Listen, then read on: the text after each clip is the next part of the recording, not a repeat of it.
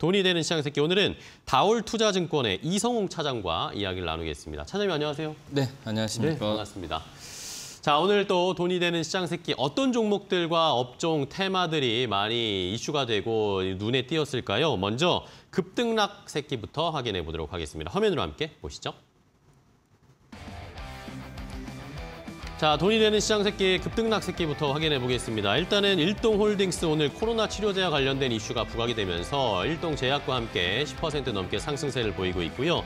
태광도 오늘 좋은 실적의 기반으로 15% 넘게 상승세를 보이고 있습니다. 반면에 W게임즈는 실망스러운 실적 때문에 6.9% 하락하고 있네요. 자, 일단은 첫 번째 급등락 한 끼부터 보겠습니다. 첫 번째 급등락하는 종목 중에 차장님 어떤 게 좀 주목되십니까? 음, 태광 같은 경우에 태광. 네, 태광을 좀 봐야 되지 않을까. 지금 현재 뭐 15.8% 이상까지 주가가 지금 오르고 있는 상태인데 네. 앞서서 말씀하셨듯이 이제 실적, 뭐 작년 대비해서도 2분기 영업이익이 200% 이상 또 증가한 모습 보여주었고 네네. 그다음에 이제 7월 달에 우리나라 그 조선 업체들의 수주가 전 세계 1위 음. 뭐 이런 부분도 있고 그리고 여러 가지 지금 호재 부분이 오늘 다 쏟아지지 않았나 어... 라고 생각이 되고요. 이 태광 같은 경우도 대표적인 이제 그 피팅 업체로 어, 아무튼 관 이음새나 이런 부분에 있어서 피팅 업체로 분류가 되고 있기 때문에 어, 이 태광 같은 경우가 이런 여러 가지 뭐 조선 쪽에서의 좋은 이슈 같은 경우에도 그대로 주가로 흡수를 하고 있는 현재 상황이라고 좀 볼 수 있겠고요. 원래 2분기 영업이익 같은 경우에도 예상치가 한 70억대 음. 정도가 좀 예상이 됐는데 아마 서프라이즈요. 서프라이즈 뭐 실적이 좀 나왔다라고 좀 볼 수 있겠고 뭐 그런 점에서 봤을 때는 어 향후에 본다고 하더라도 이 어떤 조선 업체들의 어떤 수주에 대한 부분 그리고 지금 현재 뭐 액화 천연가스에 대한 뭐 가스에 대한 그 수, 수주나 수익 같은 경우가 전 세계적으로 많이 크게 일어나고 있기 때문에 이 태광의 이 뭐 배관 자재나 이런 부분에 있어서 이 수주 그 수- 실적은 어떤 계속 늘어날 가능성이 좀 크지 않을까라고 좀 생각이 되고 있고요. 그다음에 이제 중요한 부분 같은 경우가 이제 자회사죠. HYTC의 그 실적에 대한 성장성이라고 좀 볼 수 있겠는데 네. 뭐 우선 HITC 같은 경우는 뭐 조립 공정이나 여러 가지 부분을 하는 기업이라고 볼 수 있겠는데요. 우선 그 중요한 부분이 HITC 같은 경우가 주요 고객사가 뭐 삼성 SDI, LG 에너솔루션처럼 2차 전지 배터리 업체 들이 가장 대부분이라고 좀 볼 수 있거든요. 뭐 그렇기 때문에 지금 현재 이 자회사 쪽에서의 이 실적에 대한 부분까지도 받쳐준다고 한다면 이 태강의 오늘 뭐 상승하고 오늘 좀 약, 약간 그 상승폭은 축소했지만 저는 이런 부분 그 이런 상승에 대한 분위기는 계속 가지 않을까라고 좀 판단이 좀 되고 있습니다. 네, 알겠습니다. 자, 태광에 대해서 일단은 뭐 여러 가지가 오늘 호재가 겹치면서 터지는 모습이었는데 그러면은 태광 지금이라도 저희가 좀 접근 가능할까요? 어떻게 보세요? 그러게 우선은 뭐 실적 여러 가지 뭐 실적주로서 주가가 오르는 거기 때문에 뭐 접근하는 데 있어서 매수 관점으로 소량으로 좀 담아도 좀 괜찮지 않을까라고 좀 생각이 되고 있고 이 뭐 증권사 같은 경우에도 지금 2만 원 이상까지도 지금 원래는 그 전에 목표 주가를 뭐 제시를 했었기 때문에 이 태광 에 대한 어, 상승 랠리가 이어질 수도 있다. 하지만 지금 오늘 뭐 적극적인 매수를 담는 것보다도 내일 한번 주가가 좀 눌렸을 때 한번 좀 매수하는 관점으로 가셔도 괜찮지 않을까라고 좀 생각이 되고 있고요. 네. 지금 현재 본다고 하더라도 이 정도 추세면 이 정도 이봉 시적이면은 3분기는 이 고객사 물량이 더 확대되는 시기거든요. 뭐 그러기 때문에 그 이상 실적으로 나올 수 있으니까 뭐 매수한다고 하더라도 이 오늘 좀 급등락이 좀 나와주면서 부담되긴 하지만 중장기적 마인드로 좀 접근을 하셨으면 좋겠다라고 말씀드리고요. 목표가는 일차적으로 지금 17,000원 말씀드릴 텐데 갑자기 저희 오후에 또 좀 주가가 좀 올라와가지고 네네. 그 이상의 언덕 18,000원까지도 한번 어, 보셔도 오. 괜찮지 않을까 생각이 됩니다. 알겠습니다. 매수 가격은 일단 조금 오늘 많이 올라왔기 때문에 눌렸을 때 조금 조정이 나왔을 때 매수를 하자. 그리고 목표 가격은 17,000원 이상도 좀 바라볼 수 있겠다라는 의견을 주셨으니까요. 첫 번째 급등락 한 끼로 태광을 확인을 해봤습니다. 자, 다음은 수급적으로 또 이슈가 있는 종목들 확인해 보겠습니다. 수급 두께 함께 확인해 보시죠. 돈이 되는 시장 새끼 이번에는 수급 새끼입니다. 현대건설 오늘 뭐 많이 들으셨겠죠? 네옴시티 이야기 나오면서 외국인 기관의 동반 순매수가 강하게 들어오고 있습니다. 7.77% 상승세 보이고 있고요. OCI도 인플레 감축 법안의 수혜를 받을 수 있을 것이다 라는 의견이 나오면서 개인들이 OCI를 열심히 담고 있습니다. 5% 넘게 상승세 그리고 마지막으로 S에너지도 역시 인플레 감축 법안의 수혜 받을 수 있을 것으로 외국인들의 매수가 들어오고 있네요. 자 이번에는 현대건설, OCI, S에너지 이 중에는 어떤 거 보고 계세요? 어, OCI를 OCI요? 봐야 되지 않을까. 말씀하셨듯이 인플레이션 감축법이 상원을 통과했고 그다음에 12일에 하원 표결을 지금 앞두고 있는 상태인데 뭐 이거 이런 부분을 본다고 하더라도 신재생 에너지에 대한 어떤 미국의 적극적인 의지 그거는 이제 바이든 대통령이 어, 당선되기 전에 거의 1순위로 좀 얘기했던 예전부터 상황이거든요. 그랬죠. 네. 그렇기 때문에 이 부분이 현실화되는 과정에서 이제 미국 쪽에서의 음, 적극적인 투자로 인해서 어, 우리나라 뭐 기업들에 대한 관심이 좀 많이 높아지고 있는 상황이고요.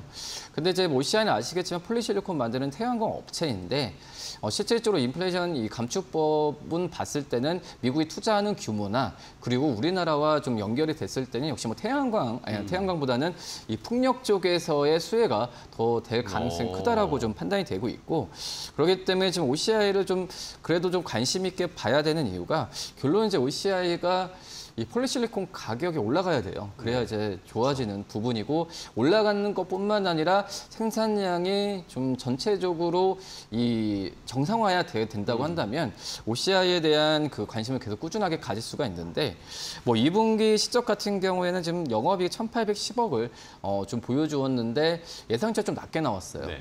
근데 뭐 폴리실리콘 가격이 계속 그 상승 추세였을 때 이렇게 왜 좀 예상보다 낮게 나왔냐고 한다면은 역시 어, 생산량이 좀 감소했던 부분이거든요. 이 말레이시아 쪽에서도 이 어떻게 보면은 이 설비가 일부 라인이 좀 정비가 들어갔기 때문에 그런 부분이 좀 감축이 됐었고 또 우리나라에서도 이제 화물연대 파업이 있었거든요. 네네. 그런 점에서 봤을 때 이 OCI의 폴리실리콘 생산이 제한적으로 갔기 때문에 뭐 생산량만 정상적으로 돌아온다고 한다면은 이 3, 4분기 때는 이 실적이 뭐 좋아지지 않을까. 그러니까 기저 효과도 바라도 괜찮지 않을까라고 생각이 되고 있고요. 지금 본다고 하더라도 이 폴리실리콘에 대한 증설 부분 같은 경우는 결론 이제 중국 쪽 업체들이라고 볼 수 있거든요. 네네.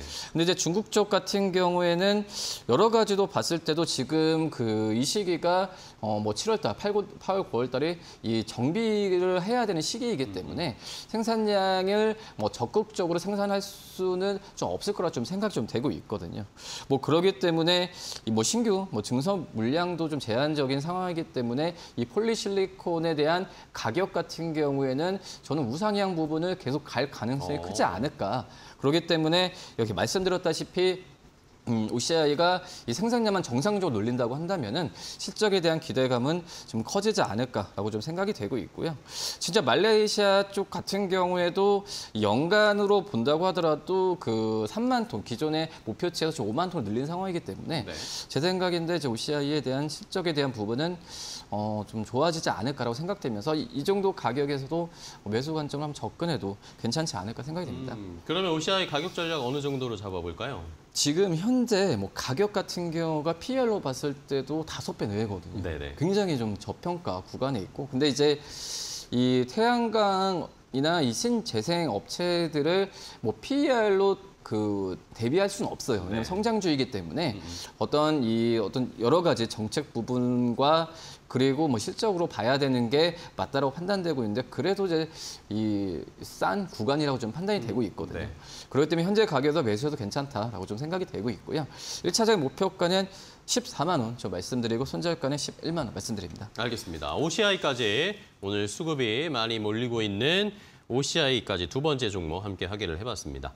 자, 그럼 마지막으로 테마 새끼 확인해 볼 텐데요. 화면으로 함께 보시죠. 돈이 되는 시장 새끼 이번엔 테마 새끼입니다.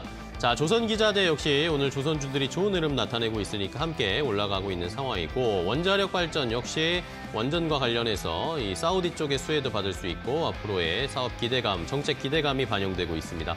반면에 역시 오늘은 반도체가 좋지 않습니다. 2.7% 하락세를 나타내고 있습니다.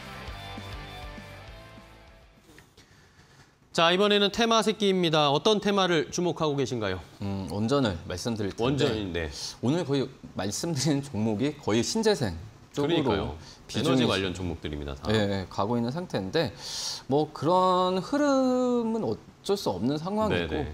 지금 우리나라 시장에서도 이제 뭐 신재 2차 전지도 신재생인데 이런 기업들한테 어떤 모멘텀이 좀 터졌을 때는 유동성이 지금 강하게 몰리고 있다라고 좀 생각이 음. 되고 있고요. 특히 이제 이제 원전 안에서 여러 가지 뭐 기업들이 굉장히 많잖아요. 네. 그 중에서도 이제 우진이라는 기업을 좀 말씀을 드릴 텐데 이 우진 같은 경우에는 이 발 전소에서 이제 계측 장비를 만드는 음. 업체라고 볼 수 있겠고요. 뭐 주요 고객사가 뭐 우리나라 뭐 한국전력이나 여러 가지 기업 그 공기업들을 대부분을 하고 있고 이 원전 쪽에서의 이 계측 장비도 하지만은 이 철강이나 음. 여러 가지 면에서 건설 쪽에서 봤을 때도 이 계측 장비를 납품을 하고 있거든요. 그렇기 때문에 한국수력 원자력 같은 이런 큰 어떤 국가 기업도 고객이고 뭐 포스코, 현대제철처럼 이 철강 기업 대기업들한테도 납품을 하고 있으니까 어떤 탄탄한 고객사가 있다는 점이 저는 장점이다라고 좀 말씀을 드릴 수 있겠고요. 네.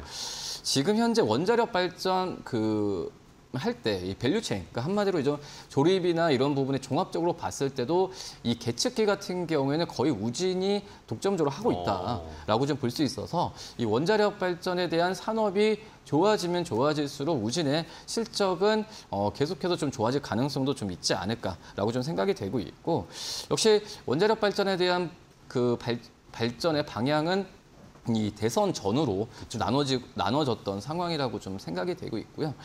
여기에 그 글쎄요 이제 아직까지도 이제 유럽이나 어, 앞서 말씀 미국 같은 경우에도 이 태양광과 풍력 쪽으로 집중을 좀 하고 있는 건 맞아요. 왜냐하면 원전이라는 부분은 이 발전 이제 건설이나 이런 시- 기간도 좀 높아지는 상태고 뭐 리스크도 좀 있기 때문에 어, 어떤 지금 태양광과 풍력 쪽으로의 그 집중이 되어 있는 게 글로벌 정책이긴 맞지만 지금 현재 본다고 하더라도 우리나라 정부 같은 경우도 원전에 대한 그 지원 부분을 뭐 중소기업이나 여러 가지 면에서 봤을 때 새 정부가 들어서면서 어, 거의 180도 분위기 바뀌었거든요. 그쵸. 네. 뭐 그렇기 때문에 이 원전에 대한 이 시장에서의 시장은 저, 점점 커질 가능성이 크지 않을까라고 좀 생각이 되고 있습니다.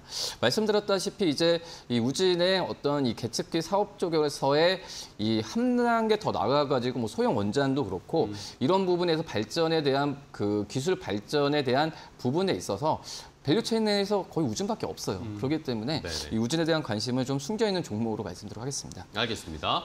자, 원자력 원전 관련 종목 중에 우진을 자세하게 좀 살펴봐야겠다라는 의견 주셨는데요. 뭐 우리나라뿐만 아니라 뭐 사우디 쪽에 이슈도 있고 유럽에서도 이제 원전을 친환경 쪽으로 편입을 시키고 뭐 간혹 오늘 뭐 외신들을 보니까 좀 독일에서도 원전을 다시 또 가동할 수 있다. 뭐 이런 이야기들도 나오고 있으면서 여러 가지로 좀 테마를 받을 수 있는 상황입니다. 우진까지 확인을 해봤습니다. 오늘 이렇게 돈이 되는 시장 새끼 태광, OCI, 우진까지 오늘 에너지 관련 종목들로 한번 잘 채워봤습니다. 자, 오늘 이성웅 차장과 함께 종목 이야기 해봤는데요. 오늘 또 좋은 종목 insight 주셔서 감사하고요. 다음 시간에 또 뵙도록 하겠습니다. 고생 많으셨습니다. 감사합니다. 고맙습니다.